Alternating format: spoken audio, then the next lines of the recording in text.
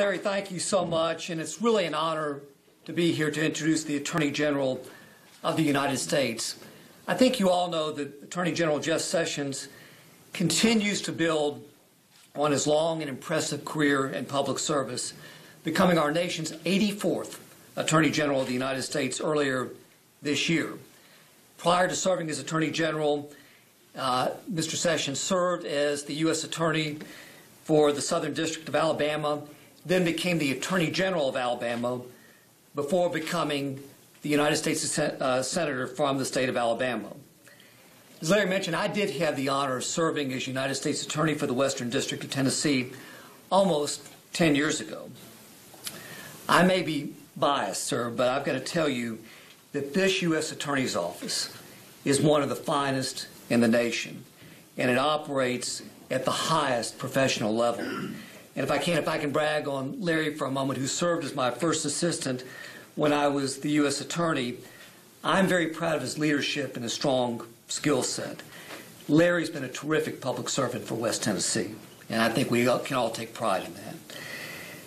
Mr. Attorney General, it's an honor to welcome you here to my hometown and to highlight the remarkable men and women who serve in law enforcement here in West Tennessee and in the 8th Congressional District. Having you here today is important. It's an important day in Tennessee because, as you know, law enforcement here at the federal, state, and local level, and really all across the country, but here has been under siege for, for the last several years. I've got to tell you that you'd be hard pressed to find another region of the country with such dynamic, hardworking, and talented people who care so deeply for their neighbors and for the preservation of their history. Our men and women in law enforcement, quite frankly, are a perfect example of West Tennessee spirit.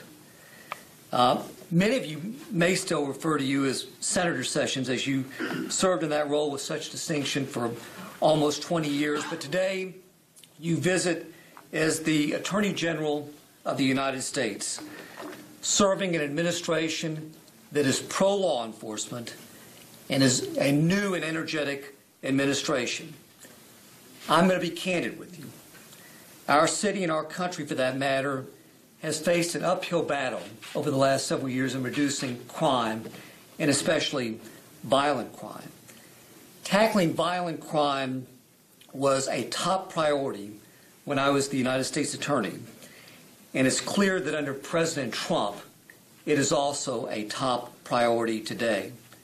And like you, I believe that our focus should be on enforcing the laws that are on the books and prosecuting those who break the law. It's very simple.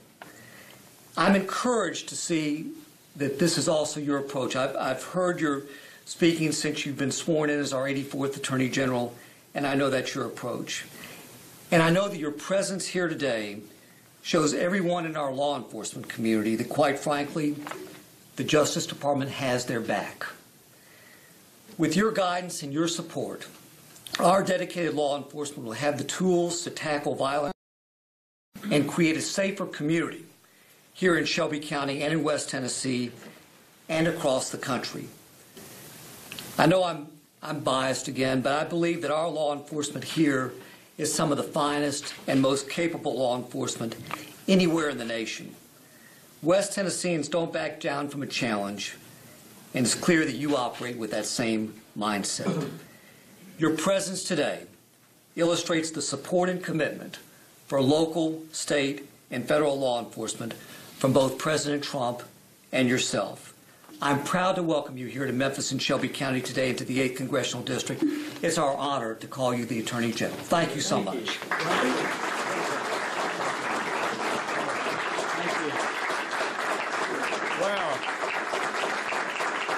Thank you all. Thank you so ever so much. And uh, David, thank you for those good words, and thank you for your effective leadership as United States Attorney. And uh, Larry, uh, appreciate